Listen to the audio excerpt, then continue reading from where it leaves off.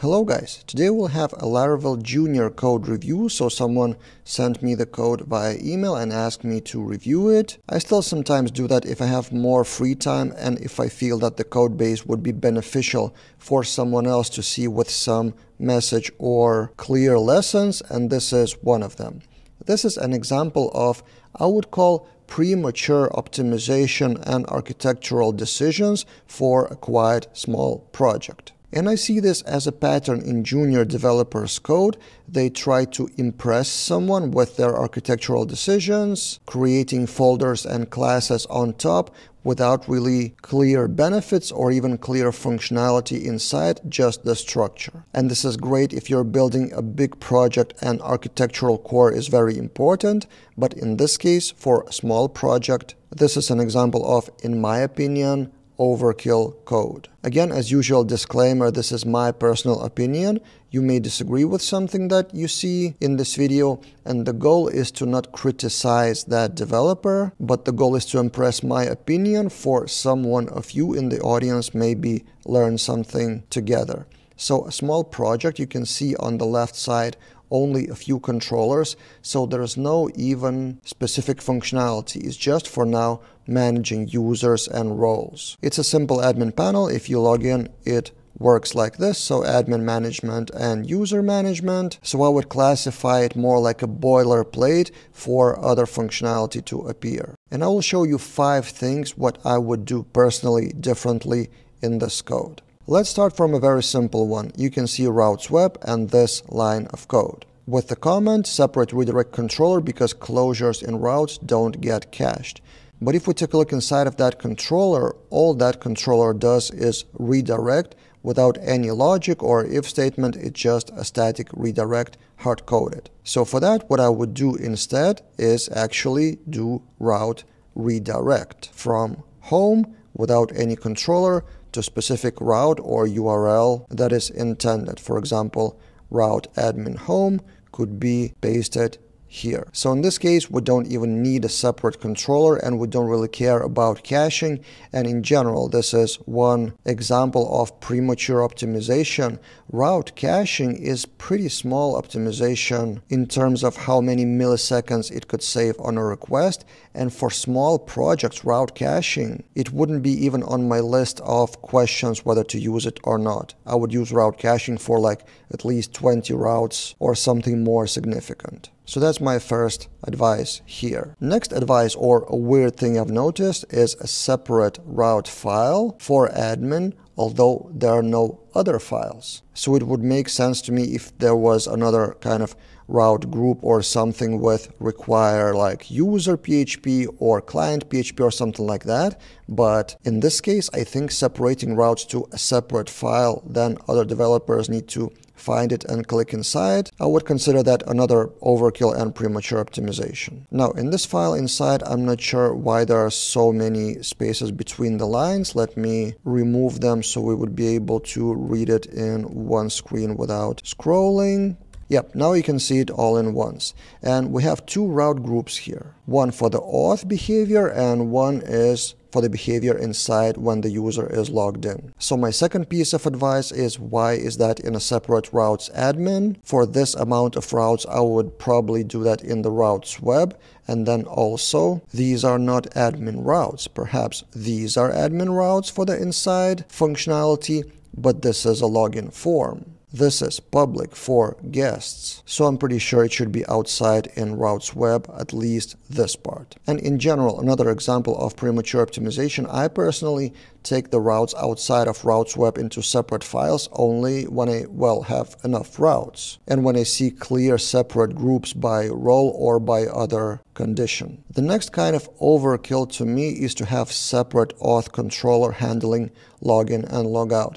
If we go to the auth controller, login form, and then handle login, which is doing almost the same thing as it would be done in default Laravel starter kit like Breeze or Jetstream. On top of that, this developer uses guards for admins and I had a separate video about it why I think it is an overkill as well. And if you haven't seen that video, I will link that in the description below. So maybe for that reason, I'm trying to understand. They wanted a separate custom auth controller with login and log out instead of installing Laravel Breeze. But on the surface, it sounds to me like reinventing the wheel without the need. After installing Laravel Breeze, you can totally customize the design. The controllers are also published so you can customize all of those. So in most cases, I think you should not create your own auth logic without the need. The next thing I want to talk about is this. Auth controller extends app foundation controller.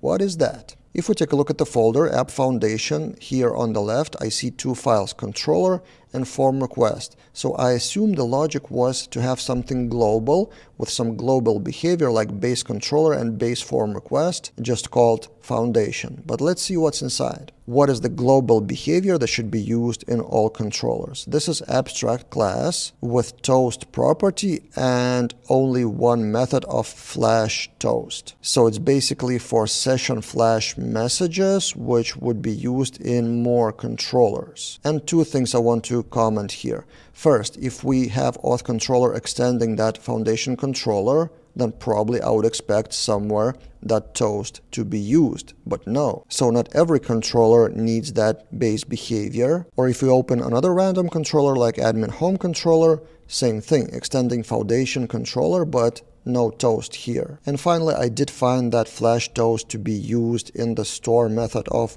user controller and it was used in two more controllers but basically it is used in minority of controllers but all controllers still extend that foundation. So my first point that it's not really a global controller, it's a behavior that should be only in some controllers. So I wouldn't create some global base controller just for that. And then another thing, create a special class with property with a method that just calls one line of code. Maybe the idea was to add more code here in the future, but for now, for this simple small project, I don't see anything wrong in replacing that flash toast in the controller with just calling session flash here. Of course, then it gets a bit longer because instead of compact, we need to add something like array of type and message separately, but I don't see much benefit in replacing this with this. Again, it's a personal preference and my personal opinion. To me, separating that into a separate global function is just not worth it. But let's take a look at another example where it is worth to have something global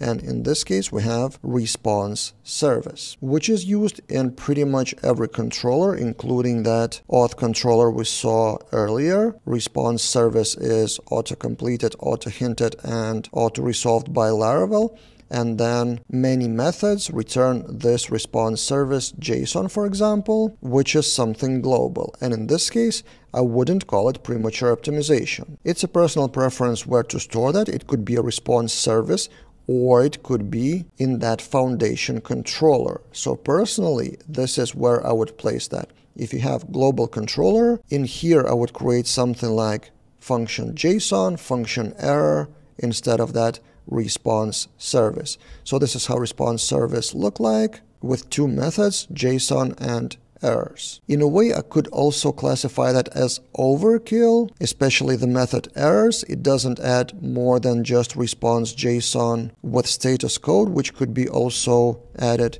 here like this instead of setting status code with the method but at least it adds some behavior some custom behavior with for example structure. So what is expected in that json and also filtering out the empty null values. So the idea the intention here is pretty good structure for all the json responses in that project. But it's not that convenient to use from controller for example. Let's close the sidebar. So this response service json success true message and then data array with whatever keys and values you want. So in this case, my IDE PHP Storm does show automatically the names of the variables. But if you see that code somewhere else outside of IDE, like on GitHub, for example, or in other IDE that does not have those hints, the first question to me would be response service JSON true.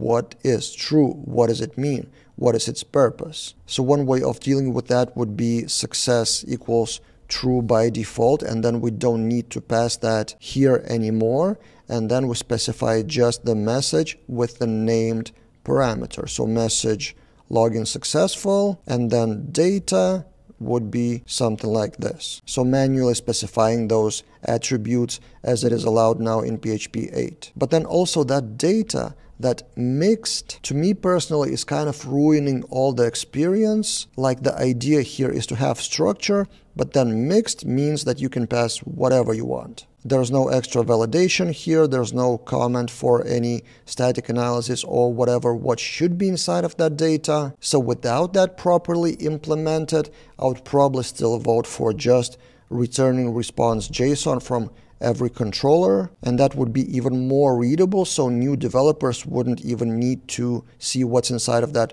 response service. Similarly to the global controller, after all that response service doesn't contain enough logic for it to be worth to have that custom service for responses. So yeah, this is my kind of quick overview of that code from architectural perspective, not even digging deeper into those controllers, what's inside. I decided to stop here because this video is already quite long, but I hope you understand the main message.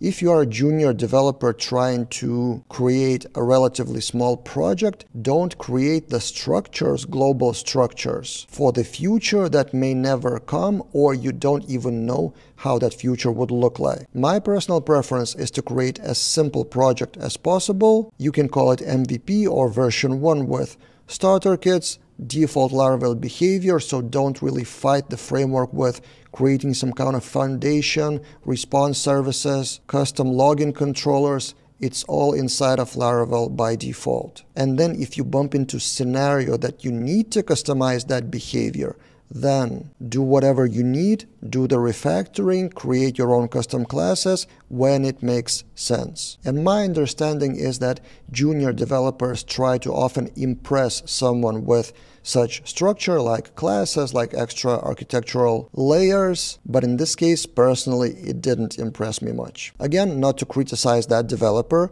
it's a great attempt to do something useful and meaningful, and maybe I would change my opinion if I see that project growing with like tens of routes and controllers, and then all of that comes together and makes sense with all those foundational architectural decisions. What do you think? Let's discuss in the comments below. What would you have done differently? Or maybe I'm wrong here somewhere? Let's discuss in the comments below. If you want your code to be reviewed, I don't promise that for everyone. I do that from time to time and usually within a month or so when I have free time. But you can try to convince me. Just email me povilas at laraveldaily.com with your code or link to GitHub and let's discuss. That's it for this time and see you guys in other videos.